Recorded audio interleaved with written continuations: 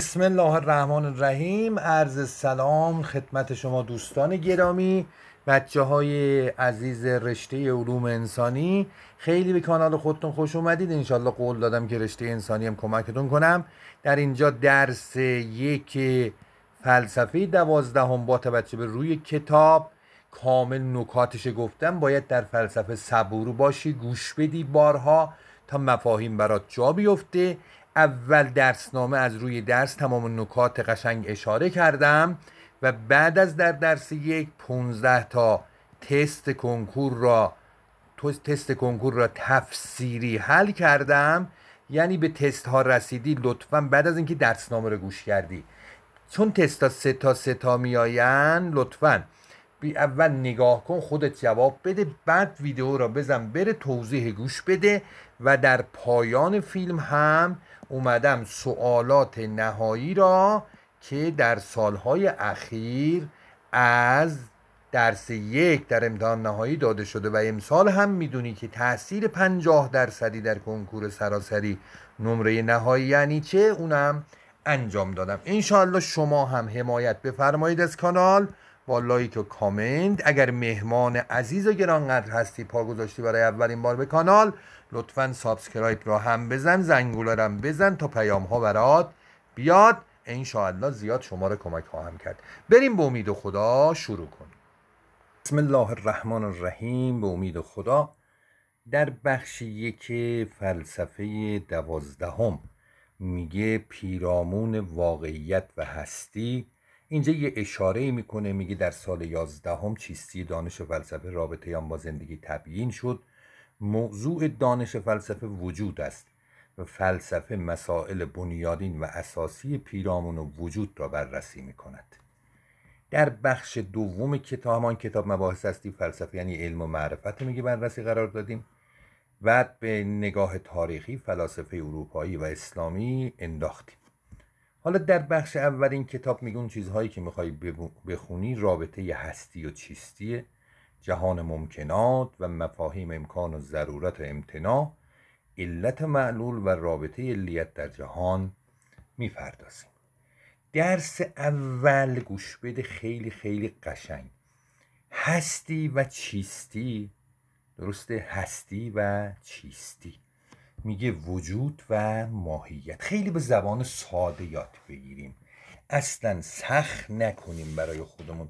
بریم. حالا هی داخل من توضیح میدم قشنگ می‌فهمید چی میگم. یکی از مباحث اولیه فلسفه میگه این دوتاست و تعیین نسبت میان آنهاست. پرکاربردترین مفاهیم میان انسان هاست. هستی و چیستی. معمولا کنار هم به کار می‌روند. این ویژگی ها رو بدون دیگه. خب؟ حالا چند تا قدم کتاب گفته. ما قدم ها رو خیلی خیلی ساده برمیداریم میریم. در قدم نخست میگه ما وقتی گرسنه و تشنه می‌شویم ببین از این می‌فهمیم رفتارهای انسان چیه طبیعی و معمولی. اگر بگوییم خب در رفتارهای طبیعی و معمولی چی دارد؟ نوشیدن دارد. نوشیدن چی؟ آب. هنگام چی تشنگی؟ قشنگ گوش بدید یاد بگیرید. خب بعد چی دارد خوردن غذا؟ موقع گرسنگی. بله انسان. درسته؟ خب.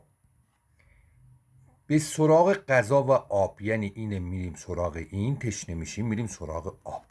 تا نیازمون رو برآورده سازیم. وقتی غمگین می‌شویم دلمان می‌گرفت در کنار یکی از عزیزان پهلو می‌گیریم تا روحمان آرامش یابد.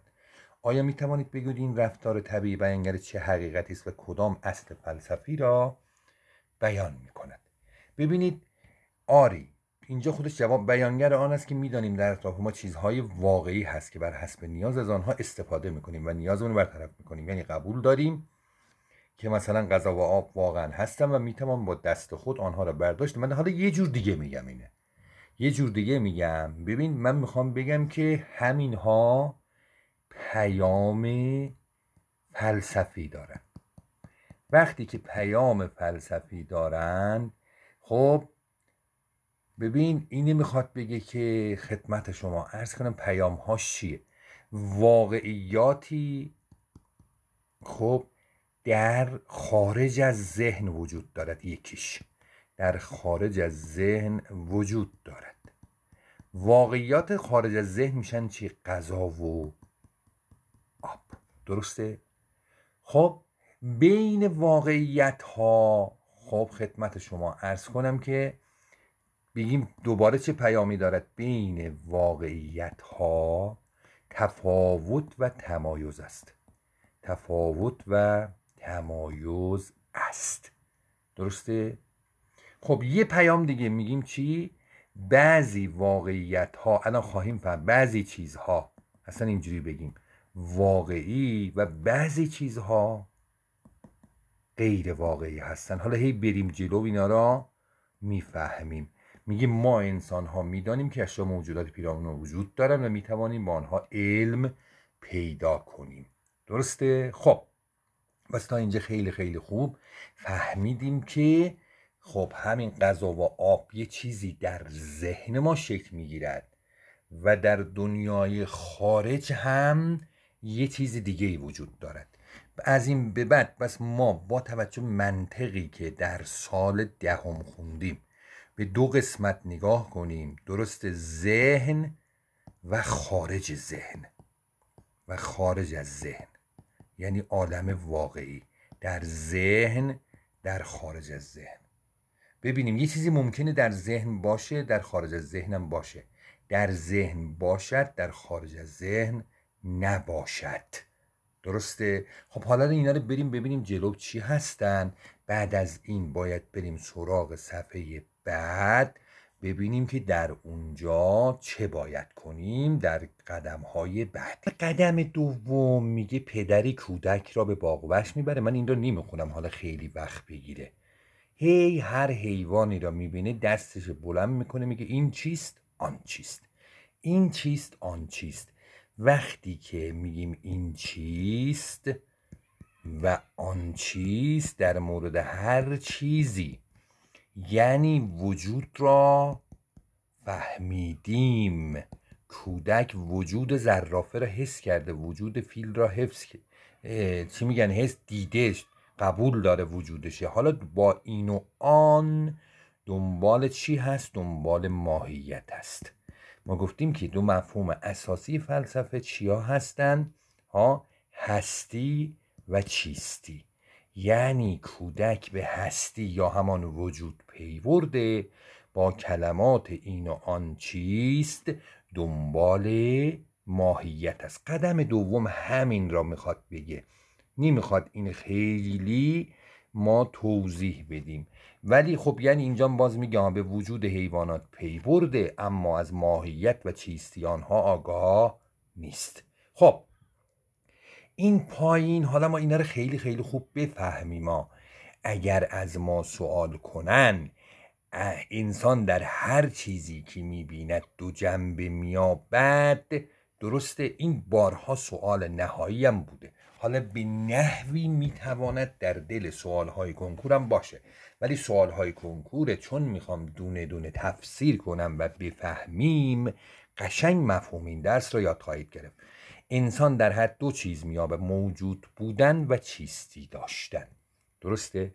یا می‌تونی بگی چی موجود و چیستی داشتن موجود بودن چیستی؟ حالا این یکیش حالا فارسی عربی قاطی کرده همون وجود و درست ماهیت. به جای چیستی داشت ماهیت گفته چیستی داشتن موجود بودن هم همون هستی.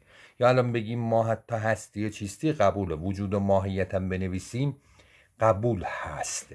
خب اما اینجا رو دقت کن. میگه وجود وجه مشترک موجودات است. من میگم انسان وجود دارد. درسته؟ من میگم اسب وجود دارد. درسته؟ اسب وجود دارد. خب بعد من میام میگم مثلا خر وجود دارد.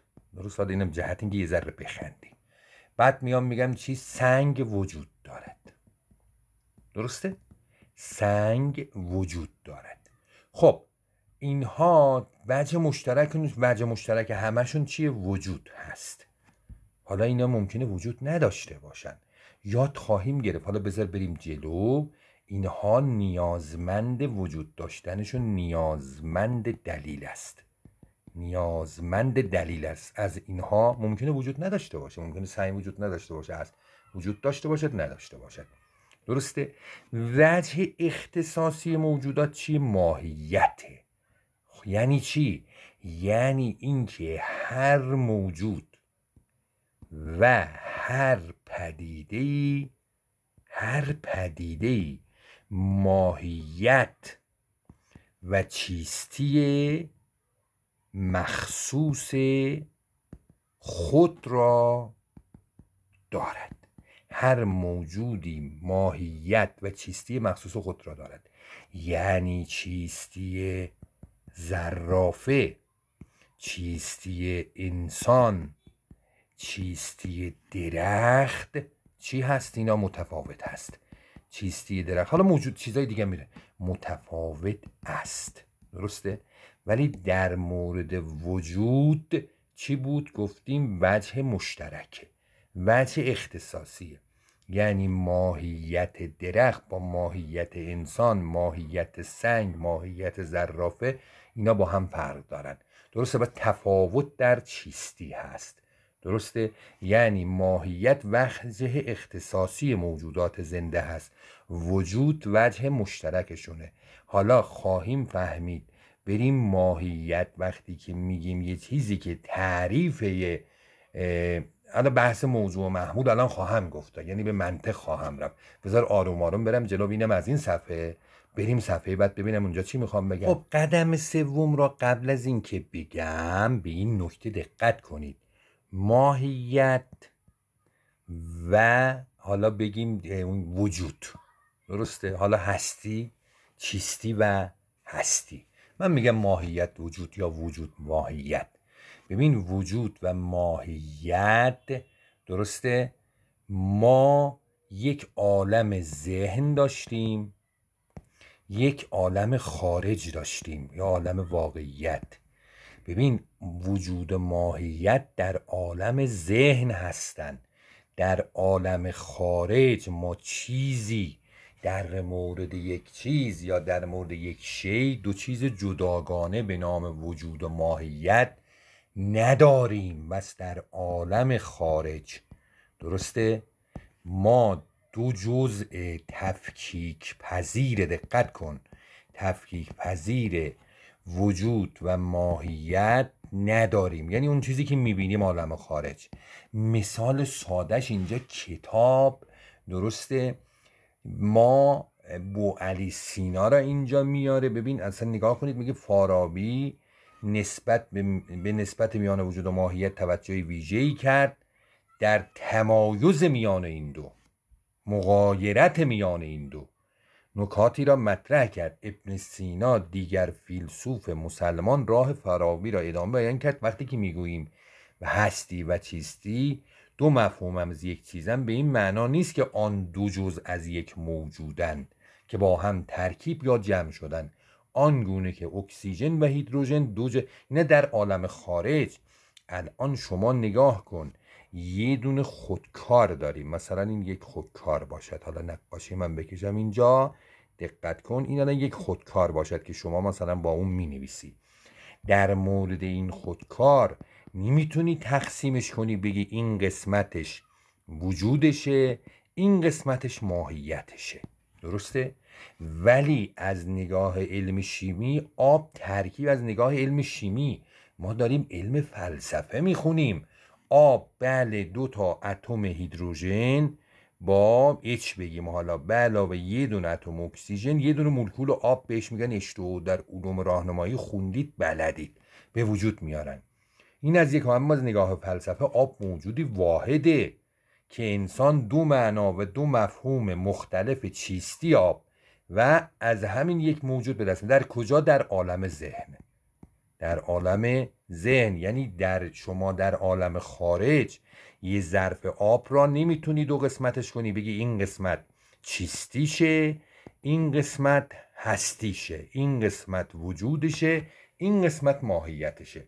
آب و وجود دو مفهوم مختلف و متفاوت از یک موجودن. در کجا؟ درسته. ما میگیم که مختلف در عالم ذهن. حالا این قسمت تکمیل گزاره ها خیلی به ما کمک می‌کنه که خیلی خیلی خوب بفهمیم چیستی و هستی. میگه در اطراف ما اشیاء فراوانی هستند که هم چیستی آنها را تا حدود زیادی می‌شناسیم هم هستیشون اطلاع داریم. هر چیزی که دور برمون هست شما می‌تونی مثال بزنی. کتاب کنار دفتر. میز. درسته؟ و آب لیوان. درسته؟ هر چی که میگی. درسته؟ خدمت شما. ارز کنم که اینها هم می‌دونیم چیستن در عالم ذهنمون ولی چیستی و کتاب را ولی به عنوان یک واحد نگاه می‌کنی یعنی اینکه شما در عالم ذهنت ماهیتش می‌دونی و وجود و در عالم خارج هست. یعنی در عالم بیرونه. دو جزء جدا نیستن. میگه برخی امور وجود دارن که از هستیشون خبر داریم. اما چیستی آنها هنوز چندان برای ما روشن نیست. مثل چی؟ مثل روح. ما از هستیشون خبر داریم. ولی چیستیش ماهیتش برای ما روشن نیست. خب مثل چی؟ مثل عقل. اصلا مثل جاذبه. درسته؟ خب اینها میگه اموری هستن یا مثالهایی هستن که ما می‌دونیم هستن ولی از ماهیت یا چیستی آنها خبر نداریم. حالا اینا در زبان کتاب ساده هست نگران نباشید. با سوالهای کنکور خیلی خیلی خوب خواهیم فهمید. بعدش چی میگه؟ بعدش می‌گوید که چیستی های فراوانی را هم می‌توانیم در ذهن خود حاضر کنیم در حالی که می‌دانیم این امور حداقل تاکنون در خارج موجود نشدن. اینم که مثال خیلی ساده است. شما حدا مثلا میگی کوه طلا. کلا یه کوه پیدا کنی حالا مثلا بعد میای بگی حالا مثلا دریای جیوه. درسته؟ حالا بیایم بگیم چی؟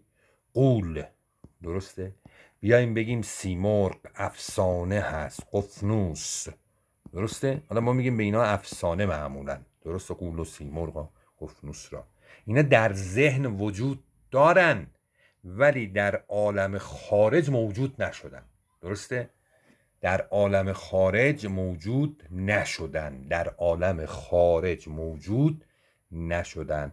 میگه گزاره های فوقیتی مثلا روزمره و غذای فلسفی ما یک تبیین فلسفی دارم. می‌بینیم که فاراوی ابن سینا این تبیین فلسفی را از همین نوع گزاره ها آغاز کردن. حالا می‌خوایم بریم در صفحه بعد این رو خیلی خیلی خوب بفهمیم. پس قشنگ فهمیدیم. یه مثالی که اینجا ما زدیم یه بار دیگه اینا رو میگم. درخت وقتی که بهت میگن میگی هستی و چیستی روشن دارد. هستی و چیستی روشن دارد. درسته؟ وقتی که میگیم روح می‌دونیم هستی دارد ماهیت روشن نیست. ماهیت روشن نیست. جاذبه شیطان. درسته؟ وقتی که میگیم سراب دیو سیمرغ حواست باشه ها؟ ماهیت مشخص در ذهن مشخص ولی هستی و وجود هستی و وجود ندارند. حالا بریم جلوتر هم من باید میگم دیگه صفحه به صفحه میرم جلو باید ارجاع منطق داشته باشم. من قدم چهارم را کتاب را خودت می‌خونی یه صفحه اینجا باز می‌کنم دیگه اصلا روش کاری ندارم. خیلی به زبان ساده تر بهت بیان می‌کنم و میگم که حرف ابن سینا چی بوده. من اینجا یه صفحه باز کنم یه یادداشت بنویسم این صفحه من خدمت شما ارز کنم که این صفحه ما در منطق چی آموختیم؟ در منطق قشای فیلمی دیگه می‌بینی. آموختیم که یک قضیه چند جز دارد؟ یک قضیه سه جز دارد. درسته؟ هر قضیه چند جز داره؟ سه جز داره. یکی موضوع هست یکی محمول هست محمول هیجیمی و دیگری نسبت است. درسته؟ نسبت را با هست یا نیست است و نیست بیان می‌کنیم. من میام میگم این بالا می‌نویسم هیچ فرقی نمی‌کنه. میگم انسان موجود است. بعد میام اینجا میگم چی؟ انسان. قشنگ دقت کن همین را. حیوان ناطق است. فقط همینی میگم از اینجا. دقت کنید تو حل تست های کنکور و نهایی بهتر می‌فهمیم. انسان حیوان ناطق است. خب من یه چیز خیلی خیلی به زبانه ساده اینجا بگم. ببین الان شما می‌دونی در اینجا انسان چی هست؟ موضوع هست در هر دو قضیه. انسان موضوع هست اینجا موجود محمول است اینجا حیوان ناطق محمول است درسته؟ حالا نگاه کن من اینجا را البته با پاک کنه خود این باید پاکش کنم من در اینجا میام می نویسم چی؟ خب میام میگم ببین حیوان ناطق بودن جزء ذات انسان است از اول حمل ذاتیه. درسته؟ حالا من یه جور دیگه می نویسم میگم موجود انسان است. موجود انسان است. دقت کن. موجود انسان است. درسته؟ حیوان ناطق انسان است. حیوان ناطق انسان است. خیلی قشنگ شد. حیوان ناطق انسان است. انسان حیوان ناطق است. من در اینجا می‌بینی که این قضیه یک باشد یک پریم را براش حالا این یک اینجا اومدم جای موضوع و محمول اضافه. آیا صادق است؟ می‌تونم میگم موجود فیل است موجود زرافه است موجود درخت است. یعنی اگر جای یادت باشه این نیازمند دلیل است. این نیازمند دلیل است. درست موجود بودن برای انسان ضروری نیست. می‌تواند موجود نباشد. ببین مجبوریم به زبان منطق حرف بزنیم ها. هر چی بخوایم ساده تر بگیم. ولی این موجود بودن موجود انسان است. این دیگران صادق نیست. یعنی جای موضوع محمول را چیزی که نیازمند دلیل بود اگر جای موضوع و محمول را عوض کردی تونست یه چیز دیگه هم باشد. انسان موجود است. موجود انسان است. انسان فقط موجود نیست. یعنی موجود بودن جزء تعریف انسان نیست. به خاطر همینه وقتی جای موضوع و محمول را عوض می کنم دیگه صادق نیست. به زبان منطق حرف بزنیم. دیگر صادق نیست. اما در این یکی نگاه کن. جای موضوع و محمول را عوض کردم صادق است. درسته چون حیوان ناطق حیوان ناطق انسان است. انسان ویژگی حیوان ناطق حیوان ناطق بودن وی... یعنی جزء ذات انسانه. درسته؟ خب حیوان ناطق بودن جزء ذات انسان جزء تعریف انسانه محمول تعریف موضوع هست. نمی بس حملت یعنی این بر اون حمل می شود. حمل شما حمل ضروری است. حمل ضروری یادت باشد. یعنی اینکه انسان به وسیله حیوان ناطق تعریف می شود یکی در تعریف دیگری است. درسته. انسان در تعریف حیوان ناطق حیوان ناطق در تعریف انسان دیگر نیازمند دلیل نیست.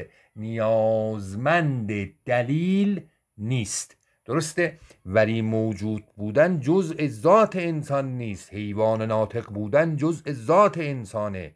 پس اگر ما در جایی می‌بینیم که محمول بر موضوع حمل ضروری هست به خاطر اینکه محمول تعریف کننده موضوع هست. ذات موضوع هست نیازمند دلیل نیست. حمل ضروری حیوان ناطق حمل می شود بر انسان. حمل ضروری نیازمند دلیل نیست حمل ضروری نیازمند دلیل نیست. ولی انسان موجود بودن نیازمند دلیل است. جای موضوع و محمول را عوض کردیم گفتم من اینجا می‌توانم بگم انسان موجود است دلیل نمی‌خواهد.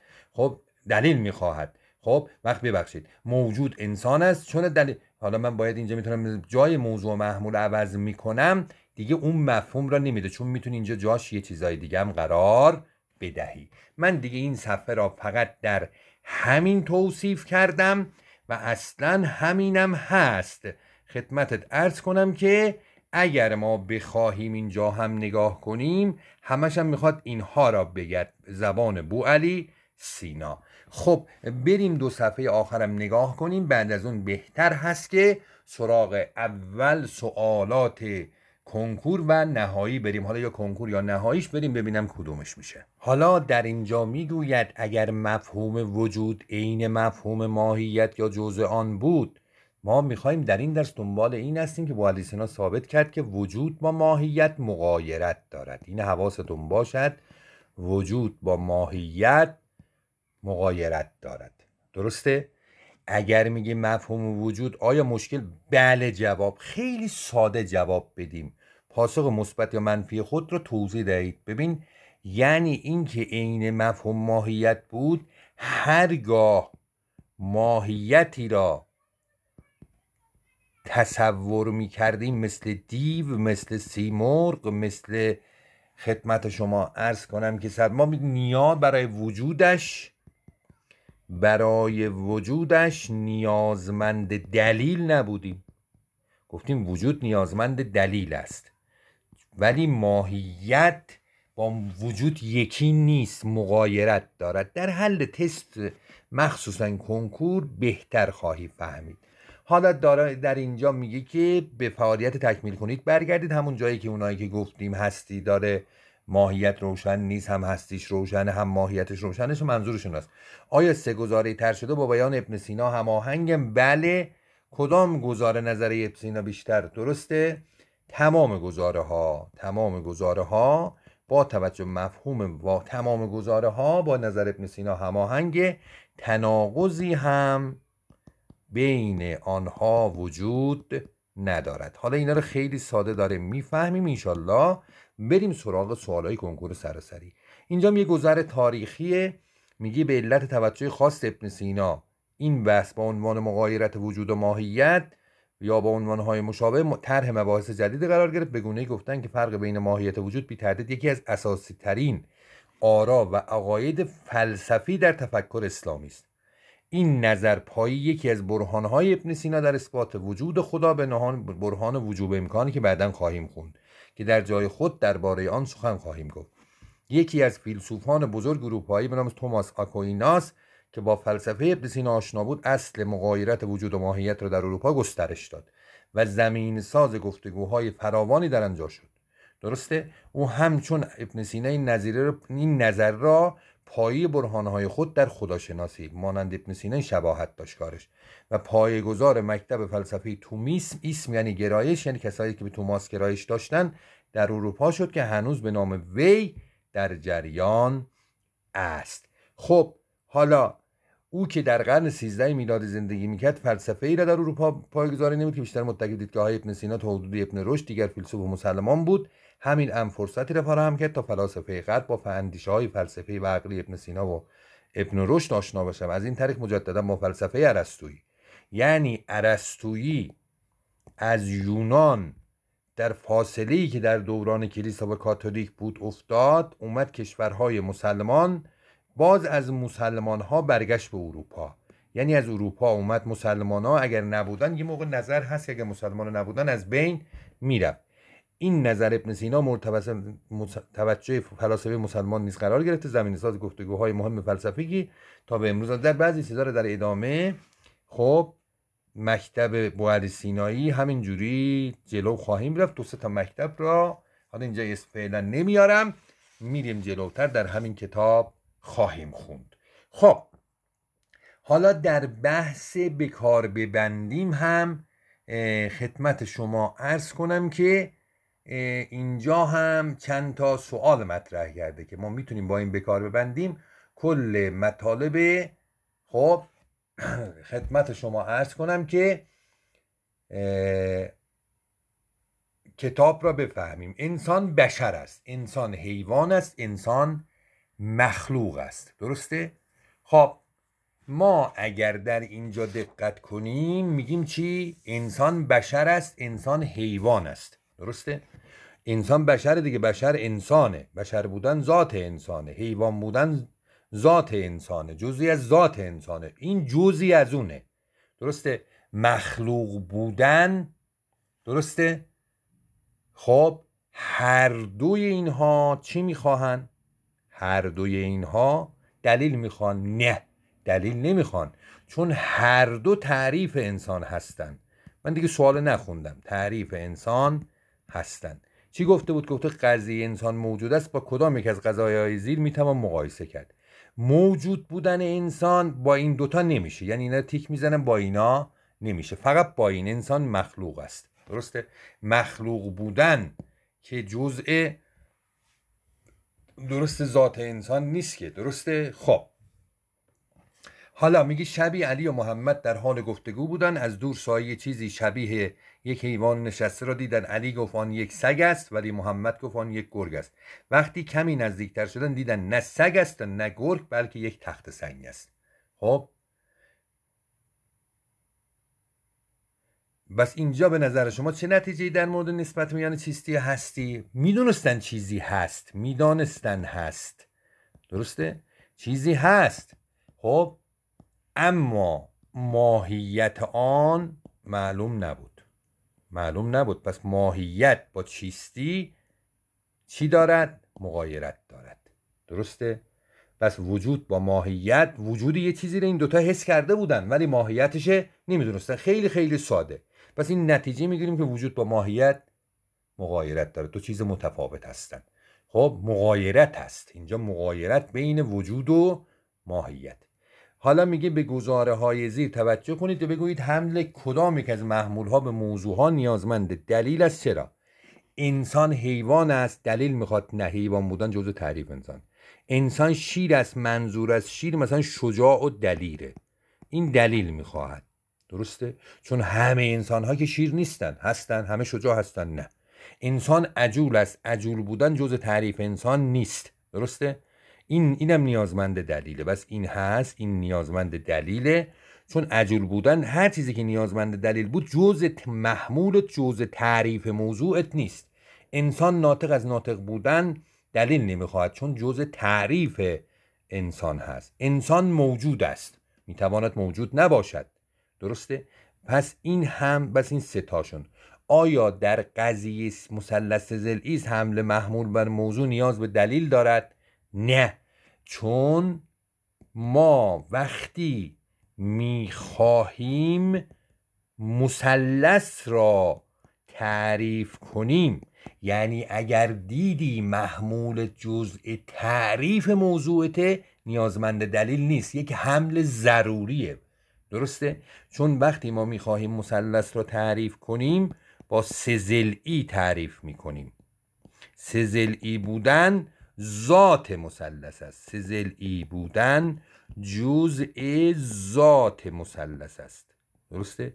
جزء تعریف مثلث است. خیلی خیلی ساده به درس ها اشاره کردیم. حالا اگر نوبت هم باشد بریم یه استراحت کوتاه سراغ تست های کنکور سراسر. خب امیدوارم تا اینجا مطالب درس خوب فهمیدی. با تفسیر این تست ها راحت می‌تونیم مسلط مسلط بشیم. خب قبل از اینکه من جواب تست را بدم باید خودت متوقف بودی تا اینجا و در اینجا و این جواب تست را داده باشی بعد در ادامه بررسی کنی که دلایلت برای درست بودن درست بوده و دلایلت برای نادرست بودن چرا؟ آه نادرست زدید چه دلیلی داشته؟ میگی نادرست است اگر بگوییم حمل وجود بر هر چیستی ممکن است نیازمند دلیل. ما می‌دونیم که میگیم انسان می نویسم موجود است. خب حمل وجود محمول وجود بر انسان که موضوع هست نیازمند دلیله. بگیم چی؟ هر چیزی حمل وجود بر هر چیستی ممکن است نیازمند دلیل نباشد. یعنی گزینی یک را بزنیم. دلیل حسی باشد ارزی باشد. خب پس حمل وجود بر هر چیستی نادرسته بگیم دلیل نمی‌خواد. حمل وجود بر هر چیستی انسان موجود است اسب موجود است سگ موجود است سنگ موجود است درخت موجود است. نیازمند دلیله. اگر مفهوم وجود اگر مفهوم وجود جز مفهوم ماهیت بود اثبات آن نیازمند دلیل نبود. عین گزاره کتابه. بس این جواب نیست. دلیل داشت. نیازمند نبود به دلیل نداشت. عین مفهوم ماهیت نبود اثبات آن نیاز به دلیل ندارد. عین مفهوم ماهیت نیست وجود و نیازمند دلیل است. پس اینم غلط. جزء مفهوم ماهیت نباشد ما می‌دونیم که وجود و ماهیت با هم مغایرت دارن. اثبات آن نیازمند دلیل است گزینه سه کاملا درسته قشنگ باید بخونی اینا را. اینم که این مفهوم ماهیت باشد اثبات آن نیازمنده دلیل است. این ماه نه خیر این این اشتباه نکنیم. وجود و ماهیت با هم مغایرت دارن این هم نیستن. خب البته این ماهیت باشد همون این سوال حالت یکی دیگه مثل حالت سوال یک نیازمند دلیل نبود. همون باز این سوال کتاب بود اینم. قشنگ باید بفهمیم. میگه وقتی که شخصی با اشاره به چیزی می‌پرسد آن چیز چیست؟ یه شخصی. بدین معنا است که آن شخص وجود آن را پذیرفته. مثل کودکی که تو اون مطلب اشاره کردیم دیگه در داخل کتاب. در قدم دوم با باباش رفته تو پارک. وجود آن را پذیرفته باغوش رفته بود و حمل وجود بر ماهیت را ضروری نمی‌داند. این کودک البته فلسفه نمی‌دونه که حمل وجود بر ماهیت چی هست ضروری نیست. درسته؟ چون وجود و ماهیت متغیرن بر وقتی که این همین گزینه یک جواب درست است. ولی میگی شخصی حالا ممکنه یه فیلسوف هست ممکنه بوهر سیناست ممکنه ابن رشد ممکنه فارابیه. وجود آن را پذیرفته و حمل وجود بر ماه به دلیل عینیت ضروری می نه حمل وجود ضروری نیست که نیازمند دلیل هست. خب ماهیت آن چیز را می‌شناسد نه بابا آن چیز وقتی که میگه ماهیت را نمی‌شناسه دیگه. نه ماهیت را می‌شناسد نه وجود. نه دیگه پی به وجود برده دنبال ماهیته. پس حواسمون باشه اینم میشه گزینه یک جواب صحیح هست. بریم ببینیم در سوال چهار و پنج و شیش دقت کردی خودت زدی اول بعد پاسخها را نگاه می‌کنی که من چی میگم. کدام گزینه در ارتباط با وجود و ماهیت نادرست است؟ تفاوت ماهیت و وجود فقط در ذهن و جهت مفهوم است. کاملا درسته ما دنبال نادرسته ایم. چون الان داشتیم تو درس گفتیم دیگه. در خارج از ذهن دو امر جداگانه به نام وجود و ماهیت نداریم. مثال زدم خودکار را. اگر درسنامه را گوش کردی. گفتم وقتی که یک خودکار ما داریم درسته؟ در این خودکاری که ما باش می نویسیم تو یه قسمتش وجود نیست یه قسمتش ماهیت. مثلا چیز جداگانه در عالم خارج نداری. وجود و ماهیت در عالم خارج از ذهن به یک واقعیت نسبت داده میشن. بله مفهوم هستی و مفهوم چیستی بیانگر دو جنبه یک چیز هستن نه یک مفهوم واحد. این کلمه مفهوم واحد خرابش کرده این غلط میشه.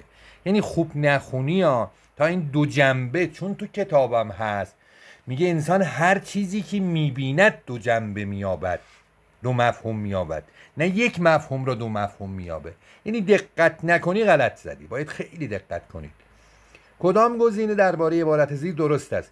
گاهی اوقات چیزی را واقعی پنداشته ایم من بعدا به اشتباه خود پی بردیم متوجه شده ایم که آن چیز خالی است. آن چیز وجود ذهنی نداشته وجود ذهنی داشته. آن چیز اصلا ماهیت نداره ماهیت تو ذهن خودمون بوده.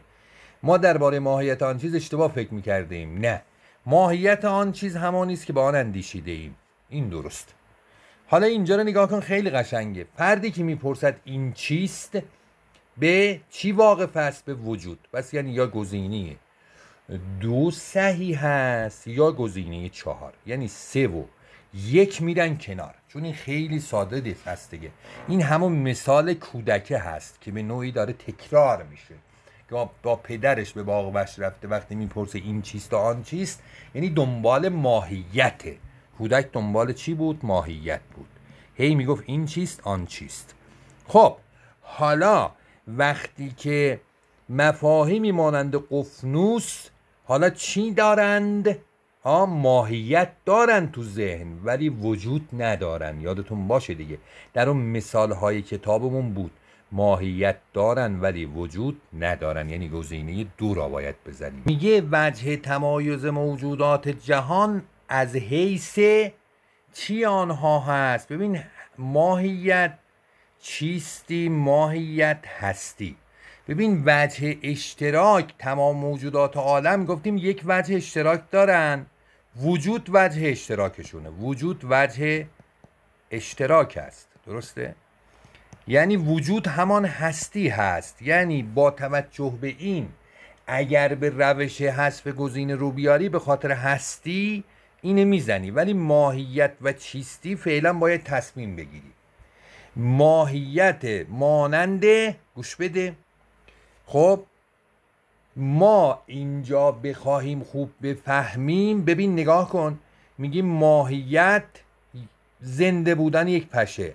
پشه می‌تواند مرده هم باشد. زنده بودن تعریف پشه نیست که. درسته؟ ها پس این غلط. خب چیستی آب بودن آب. درسته؟ این کاملا درسته. سفید بودن یک لباس. لباس می‌تواند مشکی باشه قرمز باشه سبز باشه رنگ های دیگه هم باشد. پس اینم درسته؟ جزء وجه تمایزش نیست. درسته؟ خب وجه تمایز یا ماهیت وقتی که داری تعریف می‌کنی باید جزء ذاتش باشه دیگه. زفیت بودن که جزء ذات یک لباس می‌تونه ذاتهای دیگه هم داشته باشد. درسته؟ پس اینم نیستش گزینه سه جواب صحیح هست. وجود و ماهیت در دیدگاه ابن سینا هیچ گونه تفاوت میگه با مغایرت دارن با هم متفاوتن. در جهان عینی یکی نیستن نه یکی هستن. ما جدا نمی‌تونیم کنیم. در جهان ذهنی وجود دارن اتفاقا. وجود و ماهیت گفتیم در عالم ذهنه در خارج یه چیز جدایی به نام وجود و چیز جدایی به نام ماهیت نداریم. به مصادیق هر مفهوم نسبت داده می شود درست است. گفتیم که ما هر چیزی را هر مفهومی را دو جنبه نگاه می‌کنیم وجود و ماهیت. کدام یک از قضایای زیر نیازمند دلیل نیست؟ هر گیاهی یک نوع حیوان است. درسته؟ این نیازمند دلیل دیگه حیوان بودن که جز ویژگی گیاه نیست. سحر جادو در جهان نیست می‌تواند باشد. درسته؟ خدا وجود دارد. باید ببین وجود نیاز به اثبات دارد. نیازمند دلیله این نیاز شیرینی یک مزه است. ببین مزه بودن شیرینی جزء تعریف شیرینی هست. پس گزینه چهار میشه. درسته؟ این نیازمند دلیل نیست. یعنی مزه بودن یک ضرورت برای شیرینی هست.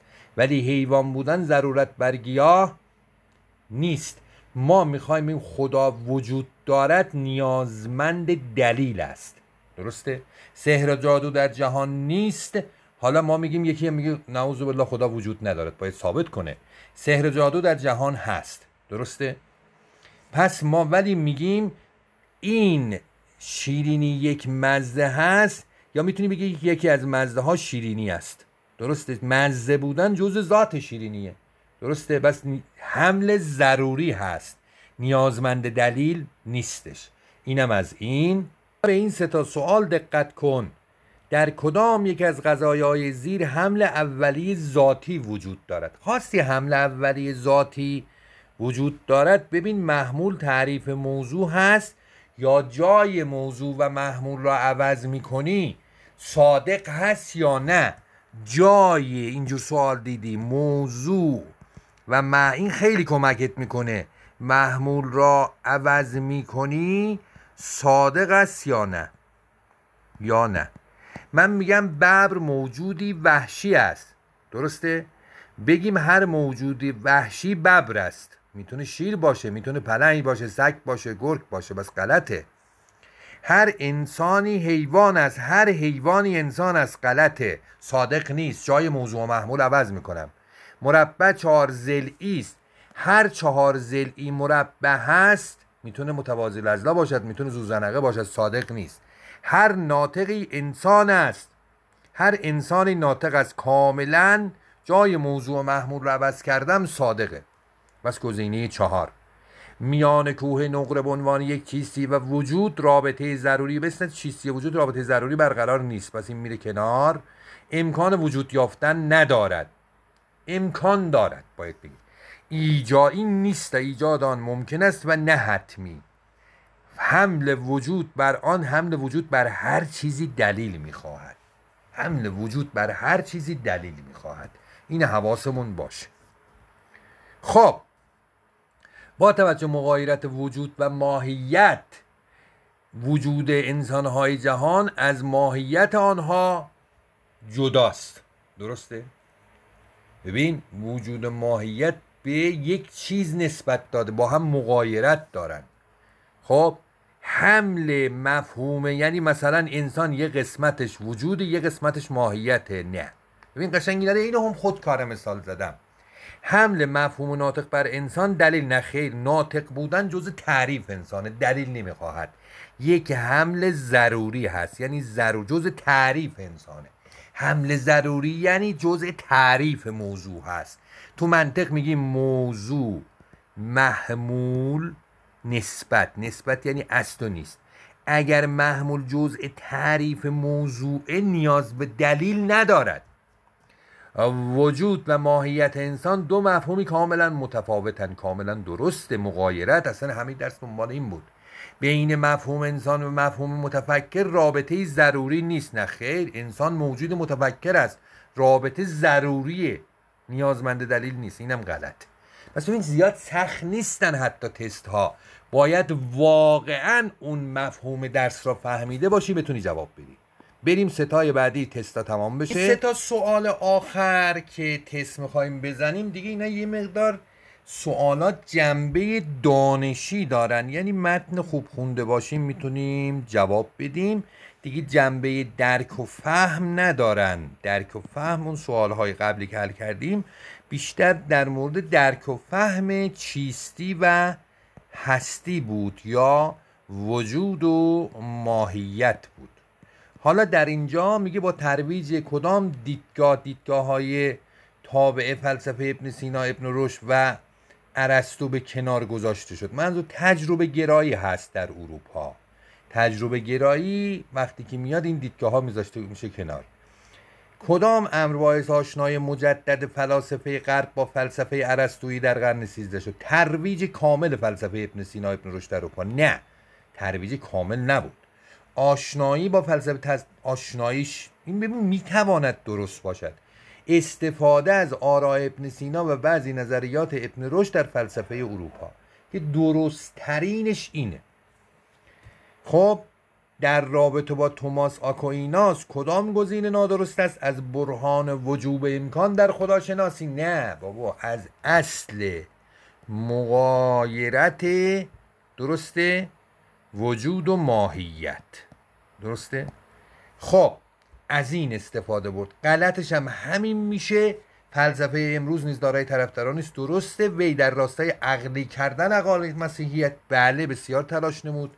وی با پیروان ابن رشد مجازات علمی داشت نه خود ابن رشد با پیروانش. بله اینم سوال 15 حالا بعد از این نوبت هم که باشد نوبت سوال های نهایی هست. های نهایی یه نوع عبارت صحیح غلط ببینیم که از 99 تا خرداد 401 چه سوالایی دادن. وجود وجه اختصاصی موجودات و ماهیت وجه مشترک آنهاست. میگه این غلطه یا درسته؟ این غلطه. وجه عمومی هم مشترکشون اینه جا به جا گفت. وجود وجه اختصاصی موجودات و ماهیت و دوباره تکرار بوده غلط. میان انسان به عنوان یک ماهیت و وجود رابطه ذاتی برقرار است غلط. حمل جسم بر مداد و خودکار به دلیل نیاز دارد. درسته؟ نه دیگه مداد و خودکار جسم هستند جز تعریفش دلیل نمی‌خواد. در عالم خارج دو امر جداگانه به نام آب و وجود نداریم آنها دو مفهوم مختلف از یک موجود واحدن صحیحه. حمل حیوان ناطق بر انسان به دلیل نیاز دارد؟ غلطه. چون تعریف انسانه حملش جز تعریف انسانه ذاتشه ضروری حمل ضروری نیاز به دلیل نداره. حمل مفهوم وجود بر هر ماهیتی از جمله انسان نیازمند دلیل است. درسته؟ مفهوم وجود ها. بله. حمل حیوان ناطق بر انسان مانند حمل وجود بر انسان است. غلط. حمل حیوان ناطق حمل ضروری حمل وجود. خب نیازمند دلیل هست. حمل ضروری نیازمند دلیل نیست. نام یکی از خلافه بزرگ اروپای با ضریب نسبت به تن فرمای بر برهان خود در خداشناسی قرار داد. کی بود؟ توماس آکویناس. جوابش میشه. درسته؟ کودک با استفاده از این و آن نشان می‌دهد که از چی آشنا هست؟ از وجود. هر انسان در هر چیزی که مشاهده می‌کنه دو جنبه مییابد. اونا چیا هستن؟ هستی و وجود چیستی یا ماهیت. درسته؟ خب. حالا بریم. کدام اصل پایی برهان وجوب امکان بو علی سینا شد؟ اصل مغایرت وجود و ماهیت اینو دوتایی داره یا تقدم علت بر معلول. نه. این از در تقدم علت بر معلول جلو درس های اونجا داد فیلسوفان غربی از طریق ابن سینا و ابن رشد مجددا با فلسفه کی آشنا شدن افلاطون یا ارسطو؟ و فلسفه ارسطو. در قرن 13 میلادی فلسفه غرب از طریق ابن سینا و ابن رشد مجددا با فلسفه ارسطو آشنا شدن. فلسفه غرب از طریق ابن سینا و ابن رشد با فلسفه. کودک با استفاده از کلام این نشان می‌دهد که از وجود به وجود پی برده است.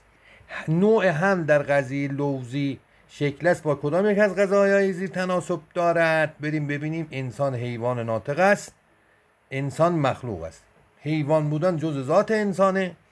شکل بودن جز ذات لوزیه. بس با این. وجه اختصاصی موجودات از ماهیت هست. درسته؟ ماهیت هست دیگه. از دیگه نداریم اینجا. خب؟ و گفته به ترتیب وجه مشترک و وجه اقتصادی موجودات چیست؟ سوالای کوتاه پاسخ وجود و ماهیت. یعنی به ترتیب وقتی که میگی تو پاسخنامه امتحان نهایی باید بنویسی مشترک وجود. اگر ترتیب باید بنویسی حالا یه کاری کن بنویس وجود. مشترک ماهیت اختصاصی. بچه مشترک اینم هیچی دیگه. دوباره. چرا در حمل شکل سزلی بر مثلث نمی‌توان از دلیل حمل سوال سوال کرد؟ ببین لذی شکل سزلی از اجزای تعریفی و چیستی آن است و گویای ذات و حقیقت مثلثه یک فیلسوف مسلمان یک فیلسوف اروپایی که نظریات و مغایرت وجود ماهیت را پای برهان خود در خداشناسی قرار دادن دیگه این همه می‌دونن. ابن سینا و توماس آکویناس فیلسوفان غربی از طریق اندیشه های کدام فیلسوفان مسلمان مجددا با فلسفه ارسطویی آشنا شدن؟ ابن سینا و ابن رشد. تفاوت حمل حیوان ناطق بر انسان با حمل موجود بر انسان چیست توضیح دهید؟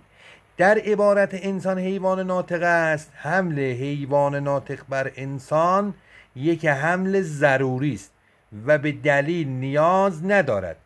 اما حمل وجود بر انسان در عبارت انسان موجود است رابطه ضروری نیست و به دلیل نیاز دارد.